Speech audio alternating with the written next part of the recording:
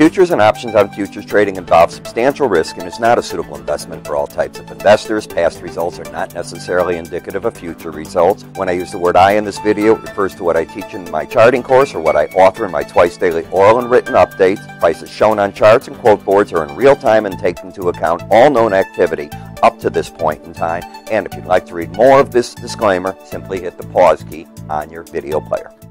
Ira Epstein of Linn & Associates with your weekend edition of this financial market video for September 1st, I almost said August there, September 1st, 2017. And I want to wish you all a happy Labor Day. Remember a few things before we get going.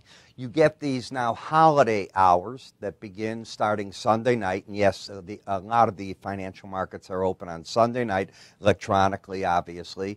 You can place your orders. They, most of them go to about noon Chicago time. They'll close, then they reopen at 5 p.m. But you might want to check with your brokerage firm on the hours and how this all works. Second thing, I have a question that I, or a request of you. I want you to tell your friends about this channel. Many of you watch this over and over, and what makes me want to do it is viewership going up on it. If I didn't have that, I would just quit and call it a day. We have a professional studio, we take advantage of it, and via you, we have grown this into thousands of hits a day, but that's not enough. I want to go into many thousands of hits a day.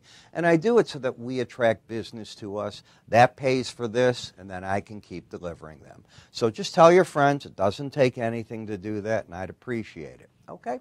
Now remember what we do. On the weekend, these are the longer term charts. We start with the monthly chart and then we go to the weekly charts. During the week, Monday through Thursday, I do the daily charts. If you're a subscriber to my research or if you've had a trial and you're still on it, you know that in the mornings, about 8:30 in the morning, I record 40 videos. You don't see them on YouTube or anything like that. You need to have a user ID and password. It is certainly not expensive. If you go to Starbucks, you're spending in a week more money than I charge for it for 30 days. So it gives you an idea. Okay, let's go and take a look at what we've got. But before we do, let's get a wrap up of the week. Hurricane Harvey, obviously a total disaster, wiped out, uh, and will continue. You're going to hear about it for a long time. The severe damage it's done to Houston. Remember, Houston, the fourth largest city in America, one of the largest paying cities of jobs. I think it's the sixth largest in terms of a median income. That's large to it. They're going to rebuild it. You're going to get infrastructure spending. So the Trump campaign's going to begin not the way they wanted, but you're going to get the infrastructure money thrown at it. You're going to get arguments as Congress comes back now. That's first week, starting right away, and they're going to say they can't do the tax cuts. They got to spend 170 to 190, maybe 200 billion on Houston. Yeah, those are the numbers. When I heard those first numbers of 60 billion, I said right here, they're missing a one. I was on this week. Uh, I, I, think it was Fox, Bloomberg. Uh, I did it in BNN Canada. I did it Skybiz. It was one station after the other, all of them. And they were asking, well, you know, we're hearing 60, 70. I kept saying, no, no, you got to put a one in front of those 60, 70. They're missing the numbers. Well, you're going to see it's just a huge number, but that's the way it is. And it's a contingency number. You pay it. It's that simple. You rebuild a key city in America. Well, that will be a debate. Will that give uh, President Trump power to say, you know, the debt ceiling, we're going to extend it for 90 days as we work everything through. We've got to help these folks out. That's probably what takes place there instead of the battleground that we saw shaping up. Then today you had the non farms payroll. Non farms payroll did not have the right wage inflation. Not that it was wrong, but 0.011? Come on. They were looking for double that. They didn't get it. So therefore, that's not there. On that news, the dollar sinks to 92.05. The euro currency rallies to 119.89. I warned my subscribers during the week that when you hit that 120.62 in this week in the euro, I said it's got to be worrying the European Central Bank, and you got to be on the alert. They could do something to drive the value down in a statement at any point. As the number came out in the U.S. this morning at 7:30, I, I saw the first thing I saw from the European Bank was about three minutes later. And coming this September meeting, September I think it's 7th, when we get to see the, the statement that comes out of them, they said that they may not, people are saying this, that uh, the bank may not even decide to do anything on monetary policy at this meeting. They'll decide maybe to push it off to December. On that news, you took the euro from the high, literally to the low, the dollar from the low, literally to the high. Things you have to be on the alert for because these reports bring out things, and I always tell people that's the dangerous time to trade. Now, when we take a look at the stock market, and this week we're going to uh, do the E-mini S&P, first the monthly chart. This market's been on a tear to the upside. You were 1800 back here at the beginning of 2016. You're right now sitting at 2474. It's a pretty good rally. I think you'd agree with me. As you take a look at an area chart of closes, weekly closes, not monthly, You've gone from 24.24 to whatever you're going to be at today. It's around 24.74. The last high was 24.72, right where I'm pointing. Now you're going to have a higher close, but it's not the highest high on the chart, and you can see it. That doesn't mean much. You're still got a market that has sprung back, and you can see that you've been trading in a pattern here back and forth through the summer. The summer break low was back here into going into May, going into it around 2350. You peaked out in August. You came down the past couple of weeks, and now you're coming back up again as the trading season starts to get underway. Now, you may not think that there's a season of trading. There is. And traders now, the kids go back to school, people open up, they open their accounts again, they start subscribing to information, they turn their mind back from the golf and tennis games to this. Yeah, there could be another two, three weeks of them having some fun, but it's a different mentality now. So as I look at the chart, you got a higher high and a lower low. Now, if you just keep it like this on a bar chart, it's really hard to see. You can see that the market certainly made a high there, came down, but the pattern was broken. And patterns on charts for somebody like me that's a technician are important. They may not be to you, but they are to me. So I see a pattern that is not a trend. Market, I wonder what the bias is. The bias is up because the market is over the 18 week moving average of closes, MAC, moving average of closes.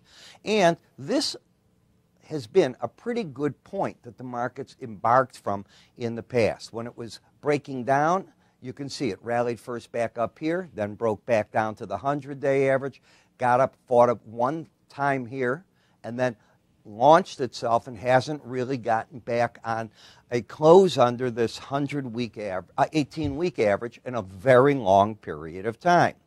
The upper Bollinger Band, which are these black line right here, and the lower band is right here, are part of an algorithm designed to keep the market trading within the bands 95% of the time. That other 5% is when you want the market to slip at, up to or through the band or slip down to and through the band. And what a lot of traders do, like me, is we look at that as when they first hit these bands as potential areas. The word is potential for you to take money off the table. That doesn't mean the market can't go higher. But often from those points, you get reactions. And the question is, what does that reaction do? In this case, if the market continues up, I'll stick my neck out and say the 2488 area, the upper Bollinger Band, is a logical resistance point. Momentum, as measured by the slow stochastic oscillator, is pointing again and trying to turn back up.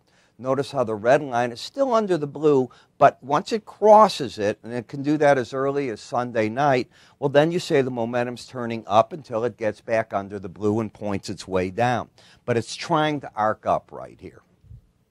When we take a look at the NASDAQ, you went right up to the upper Bollinger Band. All I can tell you is what it's done in the past. When it's hit the band, it's offered breaks. Now, that doesn't mean it hit it here and has to break immediately. You're in an area of resistance. That does not mean it can't climb higher. It can. But you look at to see, what I teach is you look to see what is the momentum doing because momentum tied with that is very important. In addition, when this was happening, you had a pattern of higher lows and higher highs. From that pattern, we started whipsawing back and forth. You're still in that pattern of whipsawing back and forth, and we know that what NASDAQ is looking at right now is Apple. And on September 12th, Apple's going to have a big announcement, but the stock isn't waiting for the announcement. That's going to be the release of the iPhone 8, I guess it's going to be called. The market's already pricing it in, and you got to ask yourself, what is the weighting of Apple within the NASDAQ? And then you start getting an understanding of how that index works. When you come to the Dow Jones, same type of thing. You always look to see what stocks are weighting it. This market was on a small corrective path, and it too is now trying to turn itself back to the upside. So momentum is trying to turn up. You do have in this chart, unlike the NASDAQ, a pattern of higher lows, higher highs. I like what that is doing. Markets over the 18 week average of closes, still bullish. The Russell. On the daily charts, the Russell was the prettiest chart of them all. It's not on the weekly. It led the parade from the small break back to the upside. This market is caught very much between these trading bands. It's trying to turn its momentum up. The bias turned up with this week where it closed finally back over the 18 week average. Three weeks in a row it was under it, and it went from the top band to the bottom and bounced away very nicely. In the VIX, this is the daily bar chart. And on the daily chart, each of these spikes up, going back all the way through here and here, have failed. Anything near 14, if you look back at it, has been failing. And the market has come down miserably after each attack of that. I cannot tell you why. I'm not going to pretend to tell you why. I'm watching the action. As we know, this is a fear index, and we have plenty of reasons why these different levels of fear took place, but they've been short lived. It's that simple. And as the market comes down, as it gets lower in price to get a big break, and it's hard. Why? At 10 to get a 10% break to get to 9, that's a heck of a break. I think you'd agree. If you had a 10% break in the stock market, you'd all be worried. Are we going into a bear market? Same thing here. Doesn't mean it can't work lower, but you have to understand where you're at. In the 10 year notes, we have a market that has gone up to its resistance point and run into resistance. It did it back here, it did it back here. What's the resistance point? The upper Bollinger Band. The market still has upside momentum, it has upside bias. There's a caution sign. We have the European Central Bank meeting coming out this week, and then right behind it, right afterwards, we get the Fed talking. What are they going to say? So we're entering that unknown period again of interest rates, and you've got to know that the Fed wants to raise rates, but if this data is any indicator, they're not going to at this point. But we also have September, October, November. They got three months to get good data under their belt. If they want to then raise in December, maybe they'll get the cover to do so. That's what the market's going to be looking at. In the dollar index, while the market got a bounce today because of what the European Central Bank said, you're still very much in a downtrend. Now the key is can the market get back under these current lows? You know, had you closed this week under 9,200, I think you'd be hearing a lot of people saying we're going a lot lower. This might have rescued the market for a bit, but I, I, the chart action is not supportive of dramatically higher prices at this point. It is still very much in bear play until you take out 94.05 and a half and until momentum turns up. Now, admittedly, the momentum indicator, if you look at it, the red line isn't under the blue, so it's trying to give you a little bounce in that. In the euro currency, you went all the way up to the upper Bollinger Band this week, and bang, the market gave back the rally, and momentum's trying to turn down. Sort of makes sense in front of Mario Draghi's uh, ECB meeting coming up this week and the statement that came out from somebody today that maybe the bank won't be discussing raising, uh, uh, rather, not buying as many bonds or the tapering back impact. So we'll see what happens here. They didn't want to see that market get too strong, I'm sure of that. The Royal Bank of Australia's meeting, and they've already, there's feelers already out that they're, the odds are that the market's going to see no change from them on monetary policy, and they've got a strong currency higher lows, higher highs. They have China in their back pocket. The Chinese uh, PMIs continue to show good growth. The economy, unlike what so many expected of slowing down, doing way better than people thought, and that helps their currency. And the chart action is good. I'm not a fundamentalist, by the way. I'm a chartist. But some people over these weekend updates like to have an idea of the week's talk in the Canadian dollar. Don't know what got in the market this week because you would have thought with energy prices down it'd get hit. Not what happened. higher lows, higher highs. If you take this week off the chart, let me show you this. You still had, and I want to be certain here, still had an uptrend. I think you'd agree. You got higher lows, higher highs. You then had a correction down. You broke through last week's low and you came right back. So I am not surprised as a chartist. The momentum's locked in, the trend has been locked in. You had a bullish crossover back here at the 75 level, and that's, that's an important thing on a long term chart when you get bullish crossovers. Japanese yen. Let's take a look at the market last week. The market had fought a battle against the upper Bollinger Band, backed off, momentum was still up. Goes up this week to the Bollinger Band again, and now momentum's trying to turn down. Market goes back, finds some support this week on the break. Didn't quite get to 90.12 or 90.10, and the question is when it gets there, if it gets there, Will it find the support there? And if it settles under it, is it going to make a run for the lower Bollinger Band? It lost its bullishness. That is something that I'm comfortable saying. In the crude oil, the interesting part of this chart is pretty simple. They threw the kitchen sink at this market in bearishness. When you close all these refineries in one of the biggest using areas of America, the Gulf Coast, that makes the gasoline, our distillates, and so on, jet fuel, and go on and on. And the market only gets down here to the 100 day average, I think it's telling a story that for the near term, we've seen a support point in the market. This chart did not turn bullish. You still have lower highs, lower lows, but if it settles just like this, it's going to be over that 18 week average. You've neutralized the bear trend until you get back under that number, and it's going to be, I think, an interesting number at the 100 day average if you challenge it again. We're seeing a support level, is plain English on that. Natural gas, strong day today in this market. Higher lows, higher highs, closing over the 18 day average, and momentum turned up. Suddenly, this market on the weekly bar chart, until this week's lows are taken out, has displayed bullishness straight out, straight forward. I want to remind you about one of our trading tools that I use, that my brokers use, and that uh, sometimes I can't find a point on a, a chart that I need, and here's a tool that I use to find it. They're called pivot points. And I want you to look at these different points here. This is a median point. We'll call that a sell, a sell, a buy point, a buy point. I've just frozen this there. I'm going to leave it frozen. And the key to this is I'm looking to use a formula to find different buy and sell points during the day. Some people like day trading with these points. They're very popular for that. So I created two videos. The first video goes in and via I, PowerPoints that I use, I teach you the concept, the formula, how to do it. The second video, what it's going to do for you is it shows you how I put them on a chart. Now, there's a third video I've not even shot yet, but I'm doing it in September, where I tie momentum with this, but you got to get the first two to get to the third.